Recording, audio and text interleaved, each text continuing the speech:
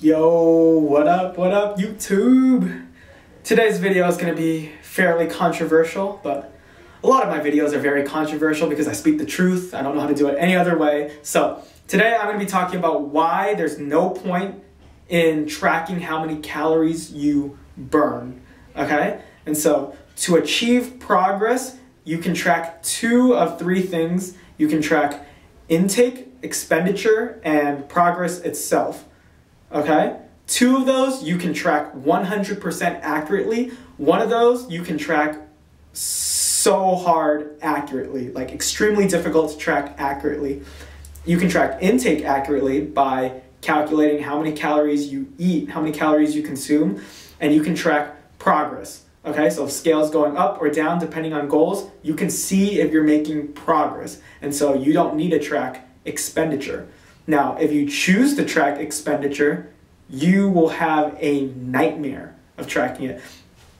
The other two you can track 100% accurately. Expenditure, on the other hand, the only way to track expenditure accurately is if you have like a million dollar lab, you know, with scientists hooked up you know, on every part of your body to track it. Because the human body is way too complex for the average person to track it on their own. No. Fitbits cannot track your calories burned. No. That number on the treadmill that tells you how many calories you burn, completely inaccurate, okay? Why? Why is this the case? And a lot of times these things are very inaccurate, not just a little bit inaccurate, very inaccurate. Why?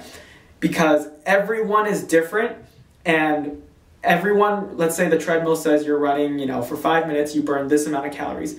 Everyone running for five minutes is going to burn a completely different amount depending on list of factors. Okay, there's literally like thousands of factors involved in how many calories you burn.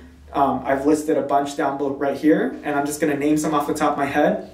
How much muscle you have, how much fat you have, what gender you are, your genetics, the type of exercise you're doing, um, the type of exercise you did yesterday, um, the type of nutrition you got in prior, um, how much you're breathing, your heart rate. All of this is way too difficult to track and to track accurately. But the good news is you don't need to track it. And yet I hear people, you know, go, "Oh, my Fitbit said, uh, you know, I ran this much, so I must burn this amount of calories." Even the ones where you punch in some, you know, I'm a female, five foot six, I weigh this much. It it's still not enough to track it correctly. There's hormones and stress that a prevent you from burning more calories or your metabolism adds more calories burned, different age, different factors, family history. It's just way too difficult. And the, the type of activity ranges from how much you're exerting. You can walk from here to here, but there's a difference where you're walking and you're actively walking, you're engaging your muscles.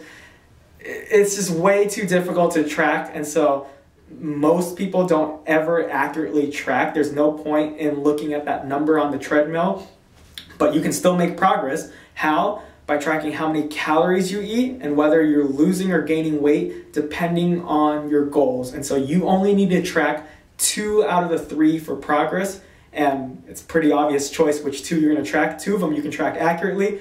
One of them is nearly impossible unless again you have a million dollar lab with scientists hooked up with a funnel in your mouth and you know stickers with the wires on your chest, calculating your, you know, muscle activation, your EMG and your blood flow, all that to actually, to actually track how many calories you're burning, it's nearly impossible. So, quick video, even though it's like four minutes, describing why tracking your calories um, burned is pointless. And so, subscribe to my channel if you still like me, and I will see you next time. Peace.